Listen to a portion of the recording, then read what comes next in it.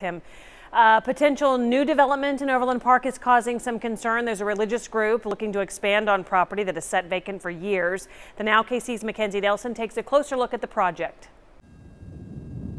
For years, a private project has been in the works for the area near 163rd and Roe. Well, this is approximately 16 acre tract of ground that's vacant and has been vacant uh, a long time. John Peterson represents the Islamic Center of Kansas, the organization that owns the empty land that backs up to Blue Valley Middle School and nearby neighborhoods. We help people navigate the requirements uh, a particular jurisdiction has in terms of what a particular piece of ground can be used for. The Islamic Center wants to build a campus that would house a mosque, community center, school, and daycare. The master plan of the city, uh, which is sort of the structure within which we do this work of development, uh, has anticipated this type of use at this site uh, for over a decade. In 2007, a plan was approved for Cambridge Church to expand here on this land. Now the Islamic Center of Kansas is asking for a similar plan to be approved. Use is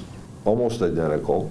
Uh, the intensity of the use in terms of square footage of buildings, number of buildings, very close. Peterson says the Islamic Center has met with neighbors to answer questions and address concerns. According to this flyer, neighbors feel the project would increase traffic, risk of accidents, and create parking and noise issues. Peterson says the plan is similar to the one the city approved for Cambridge Church years ago. For the most part, where parking lots are and where buildings are and traffic, how it will uh, interact with the current public street system, very, very similar. The Planning Commission will hear from both sides on Monday. I'm optimistic that the Planning Commission will find this an appropriate use for the site. If it's approved, Peterson says it will take months to begin the multi-year project. In Overland Park, Mackenzie Nelson for the Now KC.